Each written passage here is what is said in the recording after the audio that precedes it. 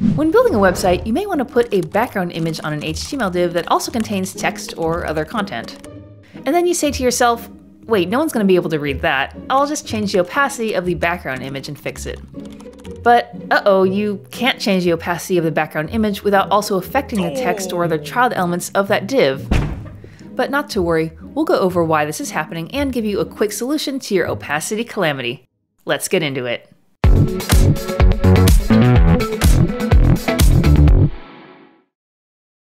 First off, unlike background colors which allow you to adjust the alpha channel to control opacity, there isn't a CSS property that can control just the background image's opacity. So when you adjust the div's opacity, you're setting a change that gets inherited to everything that's contained in that div.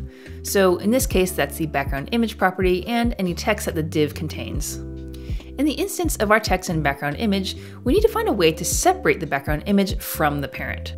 That way, you'll be able to affect just the background image without touching the text. So how does that work in the code? Well, we can put the background image into what we call a pseudo element of the parent. Pseudo elements exist in CSS, but you can't see them in the HTML markup. So if we set the background image on the pseudo element and then change the opacity, it'll only affect the image.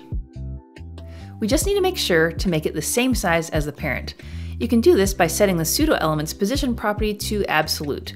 We'll also set its top, right, bottom, and left values to zero so it doesn't collapse.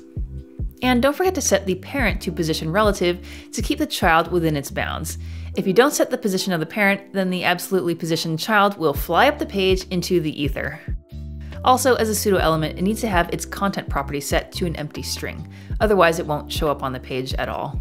Then for the text, which we have in the h1 tag, you will need to set it to position relative so that it'll be on top of the pseudo element with the background image. This is because if you don't explicitly set the position property of a text element, it'll be hidden underneath any elements that do have their position property set in the z-index layer stack. If you want to know more about z-index and what that all means, check out my other video on z-index. And there you have it, beautiful, legible, and ready for prime time. For more in-depth article and an alternate solution, check out my blog linked in the description below. And as always, thanks for watching and keep on coding.